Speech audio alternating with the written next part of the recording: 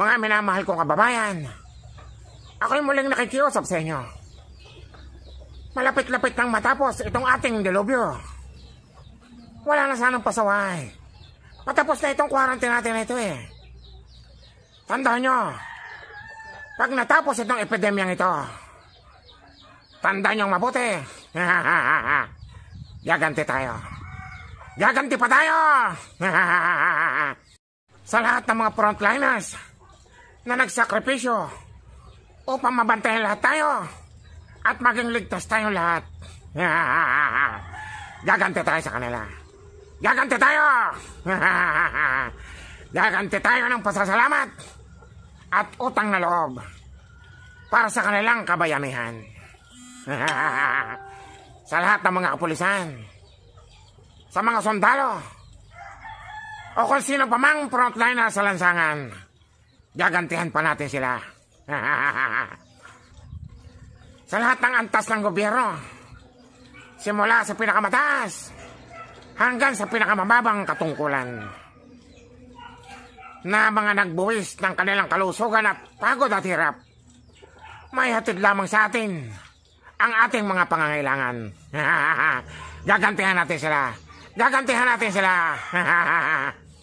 sa mga mayor at sangguniang bayan, mga pribadong tao, at mayayamang may mabubuting kalooban. Gagantihan natin sila. sila yung mga nagatid ng mga pagkain sa ating mga tahanan. Gaganti tayo sa kanila ng isang pasasalamat at utang na loob. Maraming salamat sa inyong ginawang kabutihan sa amin at lalong-lalo na sa ating bayan. Tandaan nyo mga kasama, sana'y magliligtas tayo. At malapit-lapit nang matapos itong ating dilubyo. Dahil tandaan nyo, gaganti pa tayo sa kanila. Gaganti pa tayo. Sa inyong lahat. Frontliners, doktor, mga nurses, pulis, mga sundalo, mga politikong matitino, mga pribadong tao, sa lahat na tumulong sa aming kapwa Pilipino. Maraming maraming salamat sa inyo. maraming salamat. Pero, huwag nyo rin namang kalilimutan.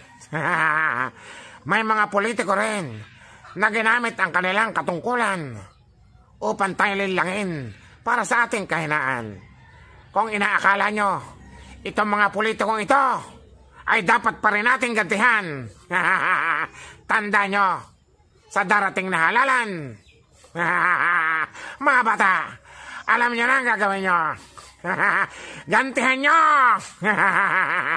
Muli, sa lahat ng mga tumulong, maraming maraming salamat at saludo kaming lahat. Sa inyo lahat.